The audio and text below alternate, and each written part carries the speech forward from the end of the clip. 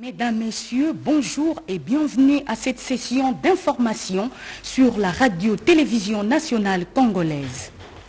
Visite de compassion du président de la République Félix-Antoine Tshisekedi Chilombo à Goma, une occasion pour le chef de l'État d'animer une conférence de presse qui lui a permis de dévoiler les programmes de son séjour dans cette partie du pays jusqu'à Roussema. Il aurait bien voulu célébrer ses 58 ans d'âge en toute intimité familiale, mais les hautes charges d'État l'ont obligé à passer une journée dominicale ordinaire. Face à la presse locale, le président de la République, Félix-Antoine Tshisekedi Chilombo, a dévoilé l'objet de sa mission dans les Nord Kivu. Euh, Comme je l'avais dit, comme je l'avais annoncé, je suis venu moi-même euh, pour voir ce qu'il en est parce que euh, là nous sommes à l'étape du retour des déplacés. Donc c'était très important euh, d'être là euh, pour déjà ne fût-ce que leur apporter euh, la, la consolation nécessaire, le soutien nécessaire et surtout la promesse que l'État ne les abandonnera jamais. Donc nous sommes venus les écouter euh, et euh, essayer de voir aussi quels sont leurs problèmes. Le président de la République n'entend pas s'arrêter à Goma. Il fera le déplacement de Beni et Boutembo pour l'évaluation de la situation sécuritaire un mois après l'état de siège dans cette partie. C'était aussi nécessaire de venir faire cette évaluation sur l'état de siège, euh, à la fois au nord Kivu, mais également en Ituri. Donc euh, je vous l'annonce là, euh, dans quelques jours, j'irai aussi en Ituri pour euh, me faire euh, une idée de l'avancée de cet état de siège, des résultats obtenus et euh, de voir s'il y a des orientations ou des correctifs à apporter. Mais dans l'ensemble, je dirais, il y a un satisfait. Le retour de la paix dans les provinces de l'Est doit aussi s'accompagner des projets de développement. Voilà pourquoi le chef de l'État se rendra également à la frontière ougando-congolaise de Kassindi pour y rencontrer son homologue Yoweri Kaguta Museveni et matérialiser avec lui un projet intégrateur au profit de la population congolaise. De Beni, je me transporterai vers euh, Kassindi, où je rencontrerai mon homologue ougandais, avec qui nous venons de conclure un accord pour la construction d'une route qui partirait d'Ouganda, en passant par Kassindi, pour venir euh, jusqu'à Goma. Cela, je crois, contribuera aussi à la recherche de la paix et à l'éradication de ces groupes armés qui, pour certains, font, utilisent de la, euh, la violence pour en fait faire du business. Au cours de ce face-à-face avec la presse, le chef d'État a présenté Dr Henry Forrest, entrepreneur australien qui vient matérialiser un projet innovant de Grand Inga. Avec son aisance habituelle, le chef d'État, Félix-Antoine Tshisekedi Chilombo, a répondu à toutes les questions de la presse locale. Un deuxième rendez-vous avec le chevalier de la plume en l'espace de 48 heures.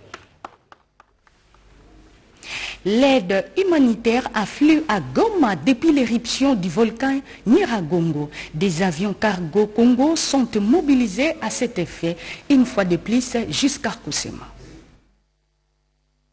Depuis l'imprévisible éruption volcanique du 22 mai dernier, une chaîne de solidarité s'est organisée en faveur de déplacés de la ville de Goma, dont les maisons d'invitation ont été complètement décimées par la lave de Niragongo. Après les ponts aériens entre Nairobi et Goma, ce dimanche était au tour de DP World d'apporter sa contribution. Dans cet avion cargo, 20 tonnes d'assistance humanitaire s'ajoutent à la mobilisation nationale en faveur de sinistrés des Goma. Présent dans la ville depuis les premières heures qui ont suivi la catastrophe, les conseillers spéciaux du chef de l'État chargé de la couverture maladie universelle, Dr Roger Kamba, a réceptionné ces lots. Il canalise l'aide pour une meilleure distribution. Euh, le président de la République s'est impliqué personnellement dans cette euh, euh, catastrophe de Goma. D'ailleurs, il est arrivé lui-même ici pour superviser les choses. Et il nous a envoyé ici depuis plus de 10 jours maintenant pour travailler à la réception de tout ce qu'il a mobilisé au niveau international. le président de la République a mobilisé aussi bien ses pairs présidents, mais aussi des sociétés privées. Il a mobilisé tout le monde pour que la population de Goma ne soit pas démunie et surtout dans cette période malheureusement de catastrophe humanitaire. Alors ici nous sommes en train de recevoir de la part de DP World des dons qui sont des non-vivres. C'est-à-dire qu'on a des moustiquaires imprégnés, on a des ustensiles, on a des draps. Vous savez qu'il y a beaucoup de déplacés malheureusement qui vivent à la belle étoile. Et donc en fait le président a demandé que nous ayons une approche globale de la réponse, c'est-à-dire aussi bien en vivre, en non-vivre et en médicaments. En visite des compassions à Goma, le chef de l'État, Félix-Antoine Tshisekedi Chilombo, va rencontrer ce lundi les bénéficiaires et échanger avec eux sur les réponses concrètes au sujet de leur prise en charge. L'Église universelle catholique a célébré hier dimanche les sacrés cœurs de Jésus. C'est en présence de plusieurs autorités dont le Premier ministre et le président du Sénat, Pachitondwango, Marcel Moubenga. Si l'Éternel ne bâtit la maison, ceux qui la bâtissent travaillent en vain.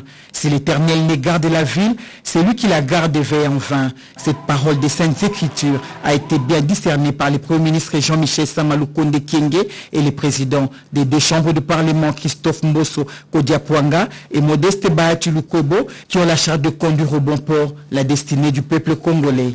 Ces derniers ont pris part à la messe des célébrations de la solennité du Sacré-Cœur de Jésus et des prières de soutien au pape François pour que l'Éternel l'assiste dans sa lourde charge de conduire l'Église catholique. Une messe concélébrée par les nonces apostoliques Monseigneur Ettore Balestrero et l'archevêque de Kinshasa, le cardinal Prix-de Mbongo. Tiré du 19e chapitre de l'évangile des Jean, du 31e au 37e verset, l'officiant du jour a axé son homélie sur l'amour basé sur la vérité et la liturgie interprète le langage du cœur de Jésus-Christ qui est le témoignage de l'amour qui s'est traduit en sacrifice de soi. À travers le cœur humain de Christ, nous avons accès au cœur même de Dieu, à son amour et à Dieu lui-même qui est en nous.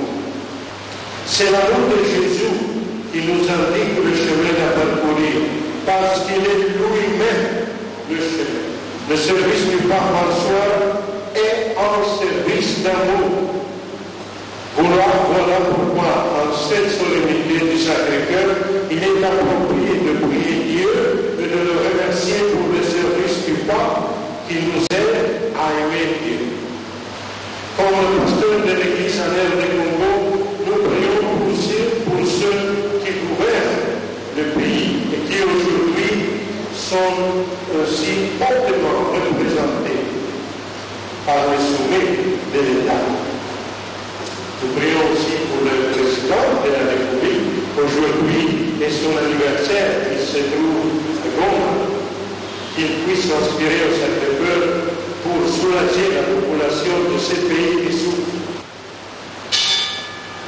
Après l'Eucharistie, les cadeaux symboliques ont été remis aux évêques venus des différentes provinces ecclésiastiques de la République démocratique du Congo pour immortaliser leur passage à la paroisse Sacré-Cœur de la Gombe qui célèbre ce dimanche 13 juin son patronat.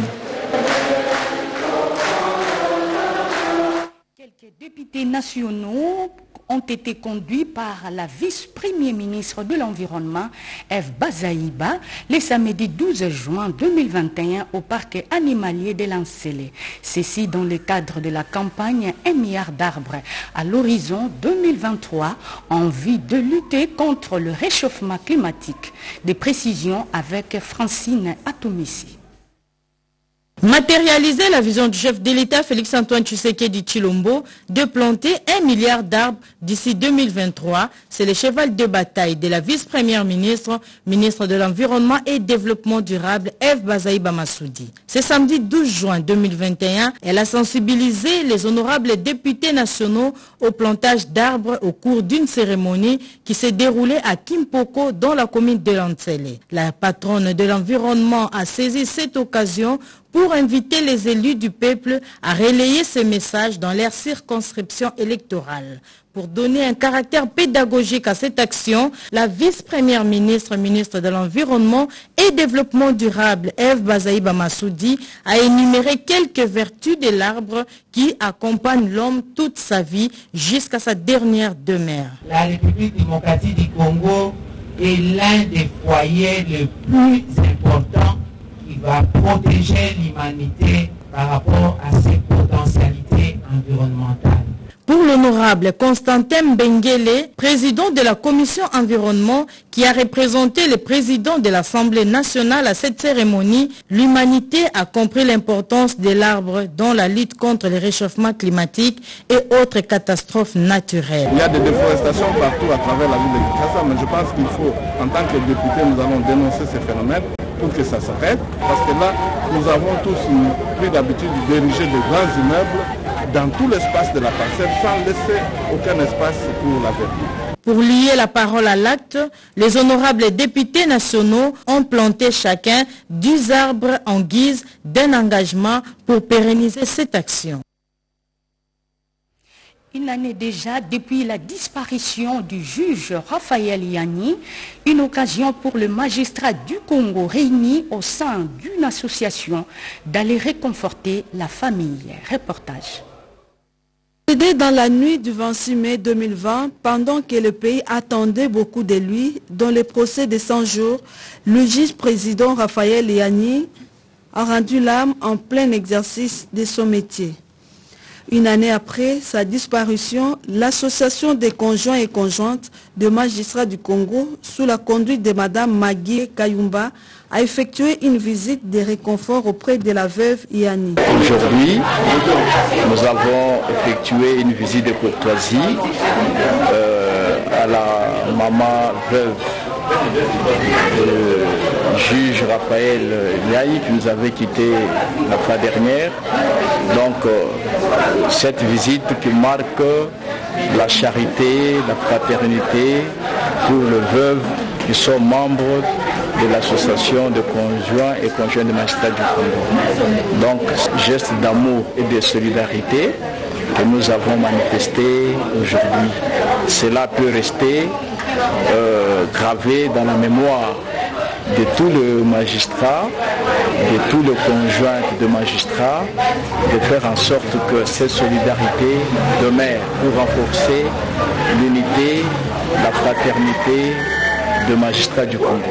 Ne s'étant pas rendu mais brédoui, cette association des époux et épouses des magistrats du Congo a remis à Mme Mado Nyangui, la veuve, des vivres et non-vivres également, une enveloppe pour la survie de la famille. La ministre du Genre, Famille et de l'Enfant, Gisèle Ndaya Lousseba, annonce le lancement de la campagne Tolérance Zéro pour mettre fin aux violences basées sur le genre et l'impunité. Suivez. Tolérance zéro, une campagne qui vise à punir sévèrement et dans le plus court délai les délinquants à la moindre infraction de la loi. C'est ce qui justifie cette rencontre de la ministre du Genre, Famille et Enfants, Gisèle Luseba, avec la presse pour annoncer la campagne Tolérance zéro. Démarche prônée par le chef de l'État Félix-Antoine Tshisekedi sur les violences faites aux femmes et jeunes filles sous toutes leurs formes. C'est pourquoi nous venons solennellement ce jour vous informer du dit lancement par son Excellence, Monsieur le Président de la République, chef de l'État à l'esplanade du Palais de la Justice, pour lequel nous attendons une part active de la diffusion de la présente information en vue d'une participation effective et efficace et ce dans un élan d'appropriation pour la cause commune des femmes et des filles pour la paix sur toute l'étendue de la RDC.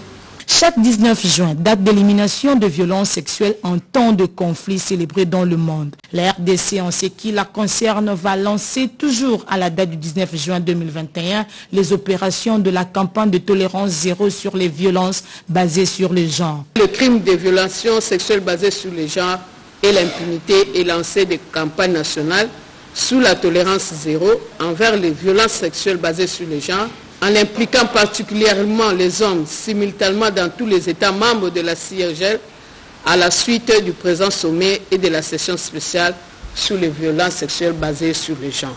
Avant la fin de cette conférence de presse, la ministre Gisende Aluseba a invité le professionnel de médias à l'accompagner pour une meilleure vulgarisation des activités de la campagne Tolérance Zéro. C'est la fin de cette session d'information 13h30, Yvette Makontima. Respectez les gestes barrières pour freiner la propagation du coronavirus. Patrick Bapuil a réalisé ces journaux. Merci et à bientôt.